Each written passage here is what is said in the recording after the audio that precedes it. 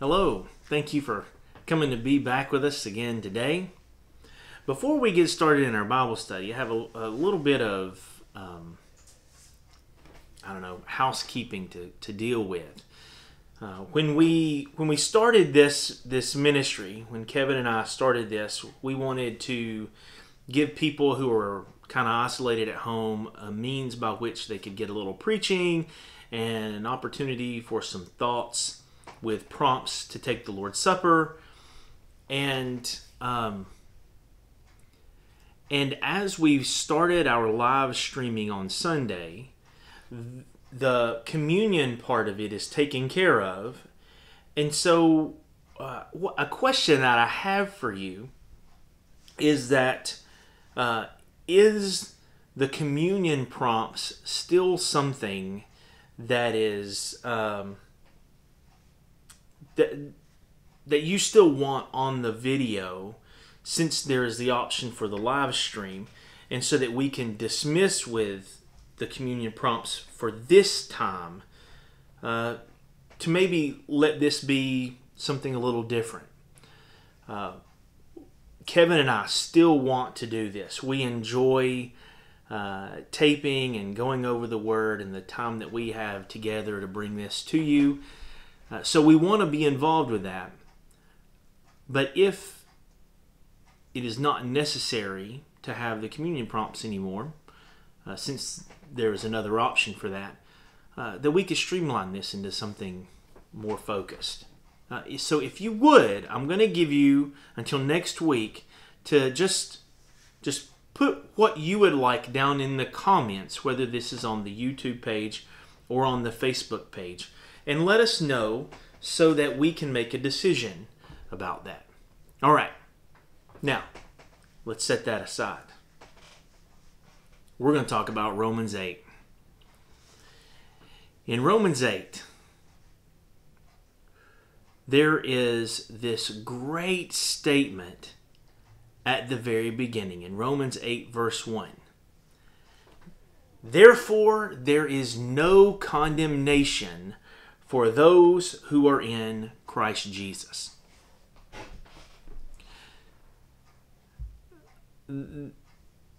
It starts with therefore.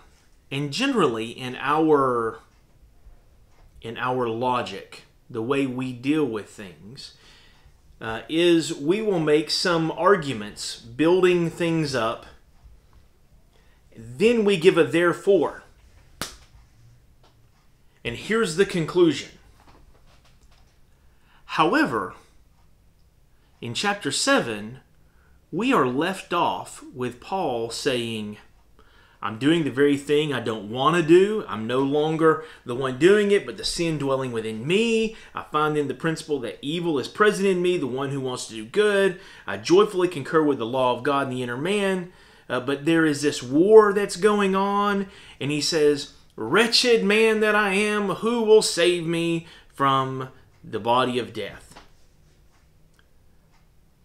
And he says, Thanks be to God through Christ Jesus our Lord which is the answer. That's who's going to save us. But then he says, So then, on one hand, I myself with my mind am serving the law of God, but on the other hand, my flesh the law of sin. So we're still caught in this struggle at the end of chapter 7. Paul, with the statement that he makes in chapter 8, verse 1, he is making a statement that he is going to defend. So instead of building an argument, then dropping a therefore, what Paul's going to do is he's making this statement. And then if you will read down in chapter 8, you will see verse 2, it starts with 4. Verse 3, it starts with 4. Verse 5, it starts with 4. Verse 6, it starts with 4. Uh, and and, and then 9 it says, however, then you go down in 12. So then, what Paul does is he makes this statement about our place. Then he goes to defend that statement by, by building this argument in which he goes all the way down to chapter 31, or not chapter, verse 31, where he has this question What shall we say to these things? If God is for us, who can be against us? Right?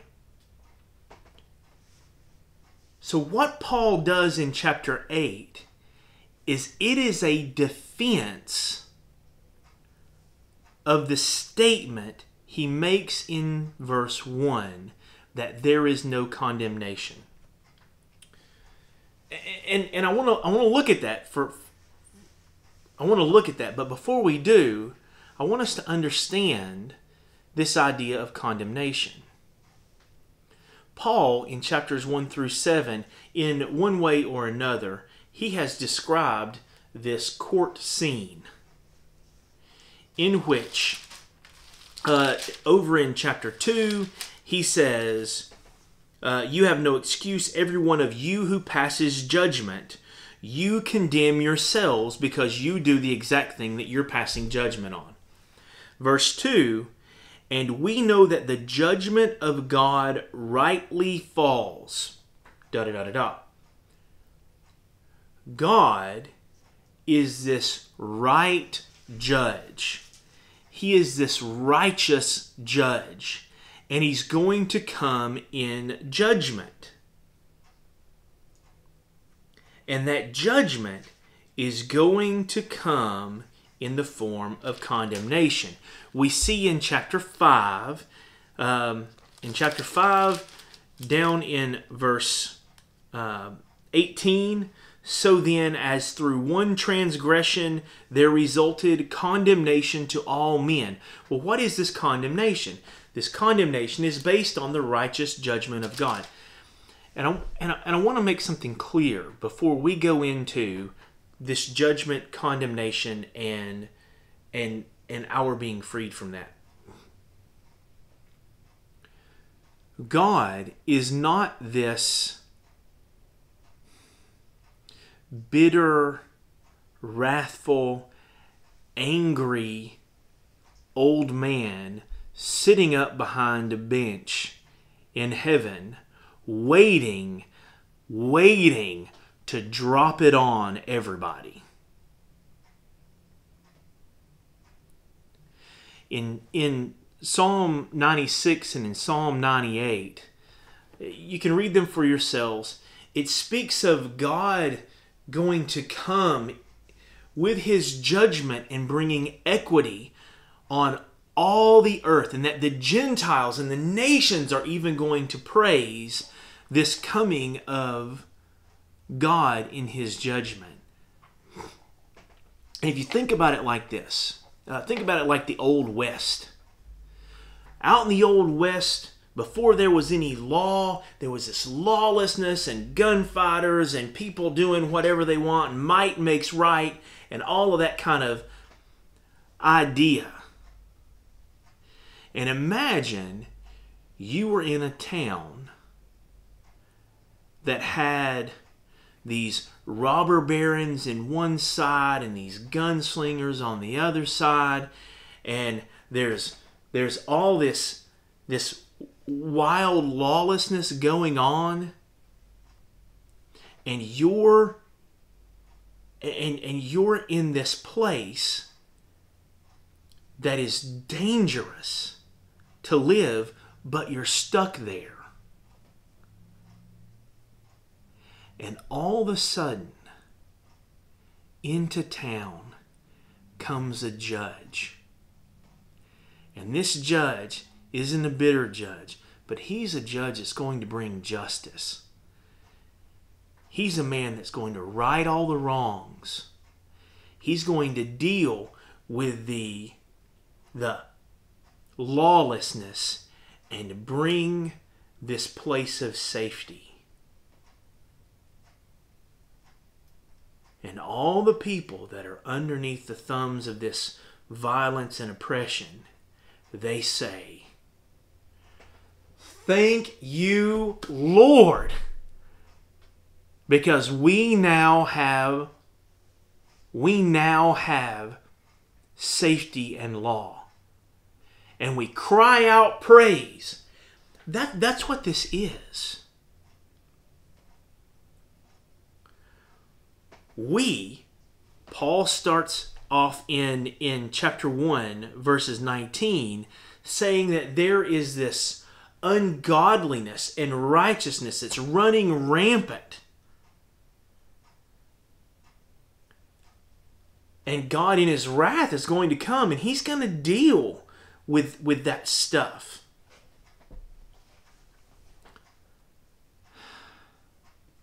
And even if we're not actively rebelling against God, we're still adding to it. So what what choice do we have except living underneath this condemnation? How can how, how can we be saved? Paul says, from this body of death underneath the condemnation. And he states, chapter 8, verse 1 There is now no condemnation for those in the Messiah Jesus, the Christ, the anointed one, God's chosen one. There is now no condemnation for those of us who are in Christ Jesus. God's promised from the very beginning in the gospel, and we talked about it last week, that whenever sin separated from us from God and we got sent out of the garden, mankind got sent out of God's presence, God promised while we were on the way out, there's coming somebody who's going to deal with this. And that promised one, that Messiah, that anointed one, that Jesus Christ, the Son of David in the flesh, the Son of God, by the Spirit and the resurrection. This Jesus, when you are in Him, there is no condemnation. For, verse 2, for the law of the Spirit of life in Christ has set you free from the law of sin and death. The condemnation that was on us underneath the law of sin and death has now been done away with with the law of the Spirit of life in Christ. So when we are in Christ, we have we are now under this law of life. And so there are these two laws. Now there is this law of life in Christ, and there is this law of sin and death. And, and then and then verse 3 it says, For what the law could not do, weak as it was through the flesh, God did. So you may ask, what was the law wanting to do? what was the law of sin and death wanting to do? Here's a hint. If you read through Psalm 119, that's a, quite a lengthy reading. But if you read through Psalm 119, what you'll find is the law wanted to provide life. Because the law is good. The law of the Lord was perfect regarding righteousness. David says, The law of the Lord is a light to your feet and uh, or a lamp to your feet and a light to your path. It's a way that we could be guided. How are we to protect our youth? The law of God.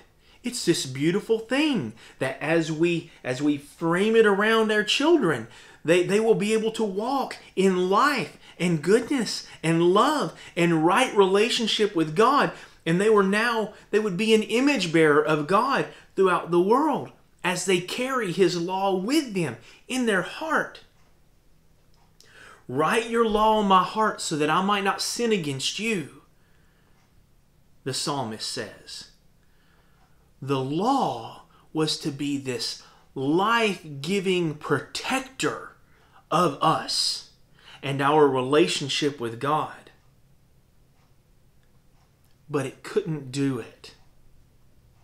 And you could go back uh, initially to the very first giving of the Ten Commandments.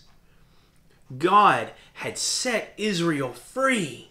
God had set them free from the from from the Egyptian captivity he brings them over the Red Sea, which we, we see as a symbol uh, for baptism in, in some places. So they're brought through the water and they're brought to God's very presence, and He gives them this law. Moses goes up on the mountain for 40 days, and, and, and God writes this on, on these tablets. And whenever Moses comes down with these with these laws, that are good and right and that want to protect us, the first thing he sees is that the people have made an idol. Their ungodliness and their unrighteousness was on display. In the very giving of the law, the first thing that happens is you're condemned. The law never wanted it, but our ungodliness, our unrighteousness, our rebellion puts us in this place. What the law could not do, weak as it was through the flesh, not the flesh of the law, but our flesh, God did it sending his own Son in the likeness of sinful flesh as an offering for sin, he condemned sin in the flesh. So in, instead of condemning us, he condemns the sin that condemned us. You see? And so that which is condemning us to death Jesus condemns it through his death on the cross. Verse 4 so that the requirement of the law might be fulfilled in us, who do not walk according to the flesh, but according to the Spirit. What was the, what was the fulfillment of the law? The law wanted life and goodness and protection, but we couldn't do it because of our sin. But when Jesus died as an offering, now we who are in Christ have the law fulfilled in us by his Spirit within us. Verse 5 For those who are according to the flesh set their minds on the thing of flesh, but those who are according to the Spirit, the things of the Spirit. For the mind set on the flesh is death, but the mind set on the Spirit is life and peace, because the mind set on the flesh is hostile towards God, for it does not subject itself to the law of God. For it's, even, it's not even able to do so. And those who are in the flesh cannot please God. However, verse 9, however, you are not in the flesh, but in the Spirit, if indeed the Spirit of God dwells in you. But if anyone does not have the Spirit of Christ, he does not belong to him. But if Christ is in you, this is verse 10 if Christ is in you, though the body is dead because of the sin, yet the Spirit is alive because of righteousness. And listen to this great verse in verse 11. Listen to this great verse. But if the Spirit who raised Jesus from the dead dwells within you, he who raised Christ Jesus, the Messiah Jesus, from the dead, will also give life to your mortal bodies through his Spirit who dwells in you. So then, brethren, we are under no obligation to the flesh, but to live according to the Spirit. You could read that in verse 12, uh, verse 13. Verse 14 For all who are being led by the Spirit of God, these are the sons of God. This is, isn't that beautiful? You want to know the reason we're not condemned in Christ? It's because God fulfilled the law in Jesus and then extends that to us and gives us life in the Spirit. And through that Spirit, calls us His sons. And we'll look at that next week. Thank you so much for being here. Remember to make your comment down below uh, regarding our business. Thank you.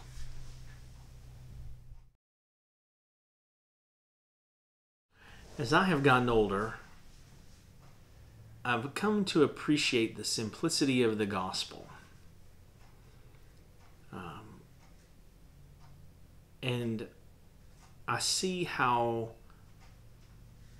much the gospel is spoken of in Scripture.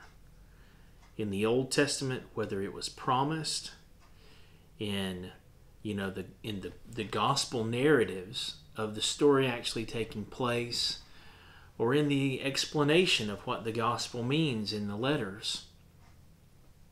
This moment when Jesus gave himself for us and then was resurrected by the power of God. In this moment, God's God's love for us is shown. And in that tender moment, in Luke 22,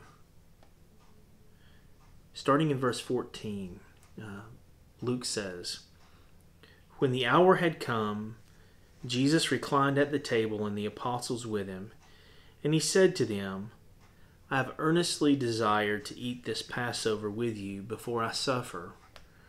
For I say to you that I shall never eat it again until it is fulfilled in the kingdom of God. And when he had taken the cup and given thanks, he said, Take this and share it among yourselves. For I say to you, I do not drink of the fruit of the vine from now on until the kingdom of God comes. And when he had taken some bread and given thanks, he broke it and gave it to them, saying, This is my body, which is given for you. Do this in remembrance of me. And in the same way he took the cup after they had eaten, and said, This cup which is poured out for you, is the new covenant in my blood.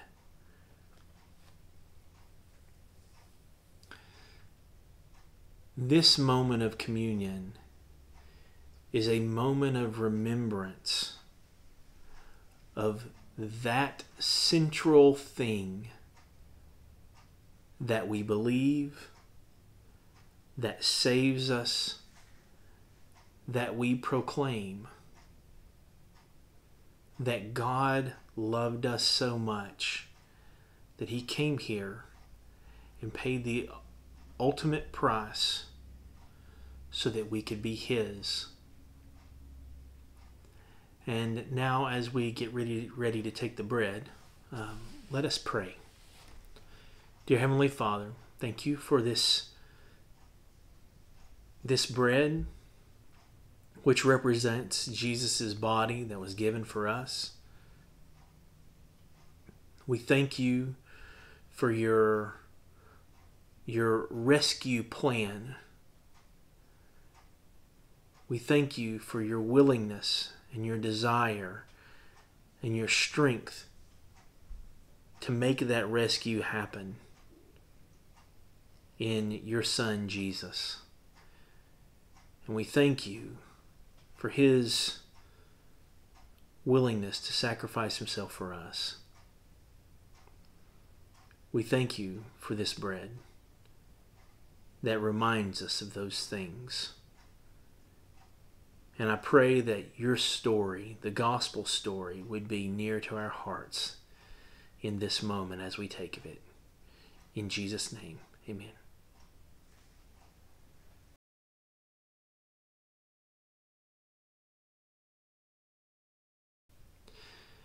And let us also uh, say a prayer for the cup. Dear Heavenly Father, we continue this prayer thanking you for the cup, which represents Jesus' blood that was shed for us. It is also representative of the covenant that you give us that tells us we are a forgiven people. We thank you for forgiving us. We thank you for rescuing us. We thank you for saving us. And we thank you for Jesus, who does all this for us,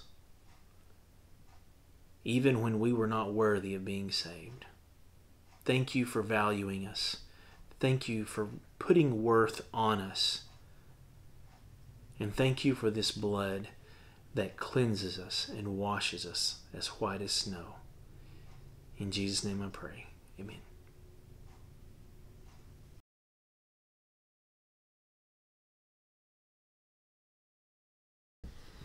There is no condemnation for those who are in Christ Jesus. How profound and big of a statement that is that we can now have a life free from guilt free from the burdens that we uh, try to carry with us. And I pray this week as you go along that you will let the message of freedom from condemnation give you peace in your heart as you serve the living God through His Spirit. God loves you, and so do I. Have a wonderful week.